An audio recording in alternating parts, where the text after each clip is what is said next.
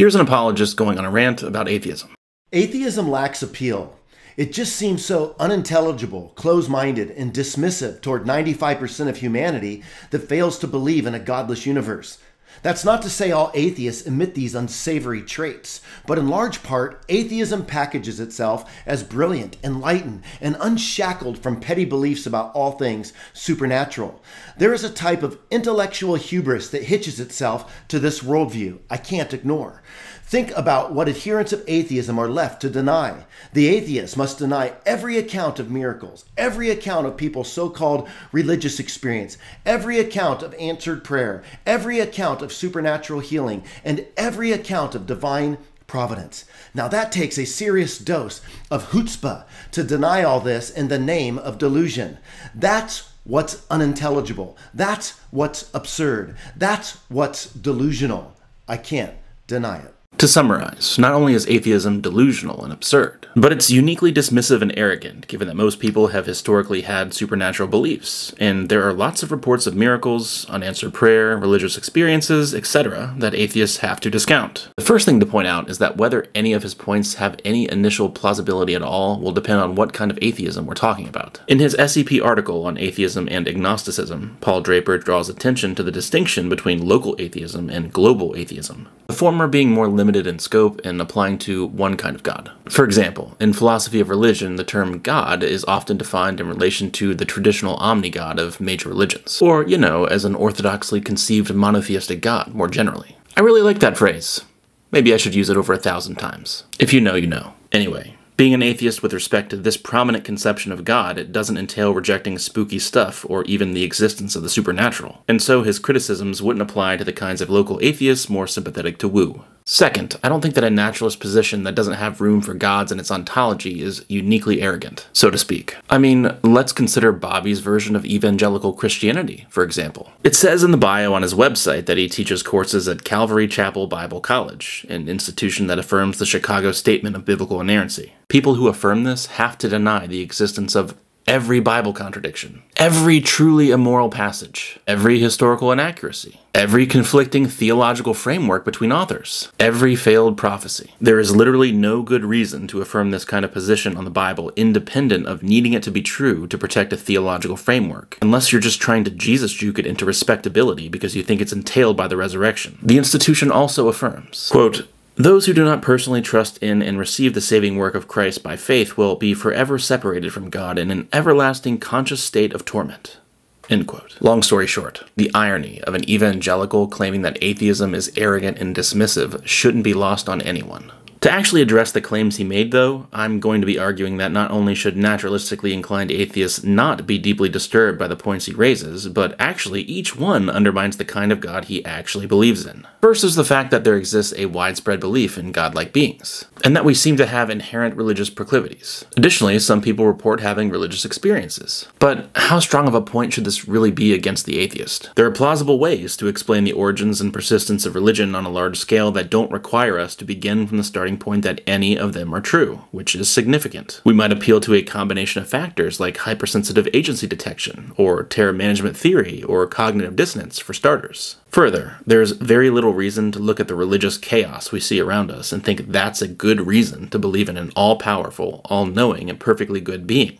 There's widespread disagreement about which God or gods exist, which religion is true, and about how to attain salvation, however conceived. Further, as Felipe Leon puts it, quote, there is significant evidence from the scientific study of religion that, due to their cognitive architecture and other factors, people have a strong natural tendency to believe in and worship anthropomorphic deities. But if the god of theism exists, then he does not want us to be idolatrous. It's therefore surprising on theism that we have such an inclination. End quote. Yeah, definitely seems like a being that encompasses goodness, knowledge, and power in a greater capacity than we can even imagine is in charge of things. Totally. Getting into the topic of religious experiences more specifically. Went home that night and I found a New Testament and I began to read it for the first time.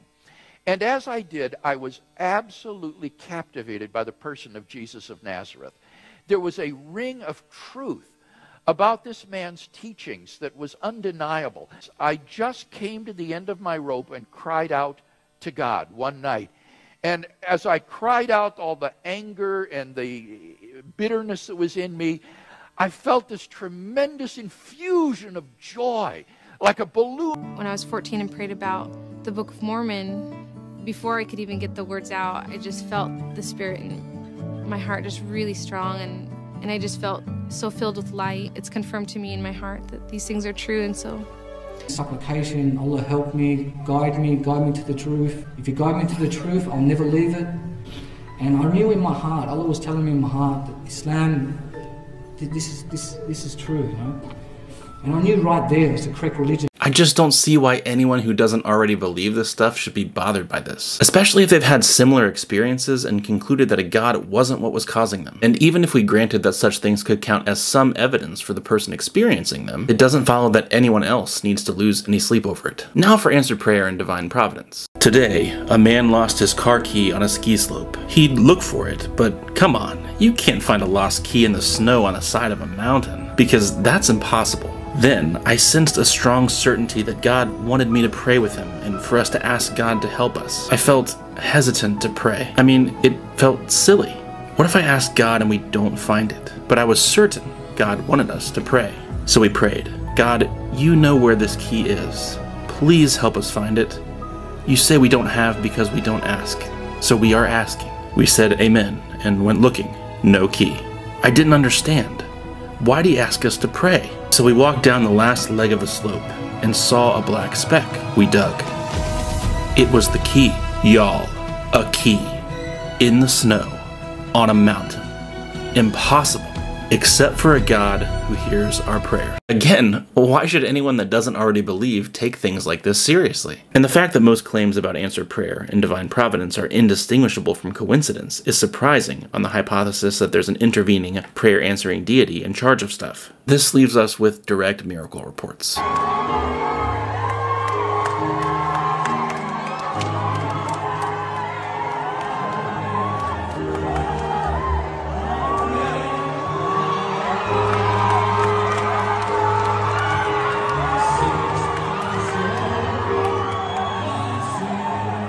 In case you didn't know, people are gullible. Additionally, if 1. Every second of your life in the world seems regular to you, 2. Your experience with the reliability of human testimony is hit or miss, and 3. You correctly see that religious testimony specifically is extremely suspect, then people claiming things like, oh, I don't know, that a dead person came back to life by itself should not overturn that experience. Plus, the conflicting accounts of miracles supposedly corroborating the truth of different religions feeds into the problem of religious diversity for theism mentioned earlier. What's worse for Bobby, though, is that taking a skeptical approach to this kind of stuff isn't unique to atheism, and theists could just as easily be wary as well. Prominent philosopher of religion, Yujin Nagasawa, who Bobby is apparently studying under, says, quote, I think reality is much broader than the realm governed by the laws of nature, which are only contingent, so in a sense I am a supernaturalist. Therefore, if we define a miracle as a violation of the laws of nature, then I believe that miracles can take place. However, I am not aware of any strong empirical evidence for specific miraculous acts, such as instantly turning water into wine or curing incurable diseases in a few seconds. Indeed, if I were a theist, I would take God's self revelation through nature very seriously. He likes it regular. So I would pretty much be as skeptical about miracles as I am now if I were convinced that God exists. But alas, there are good reasons to doubt his existence. Tap here for an example.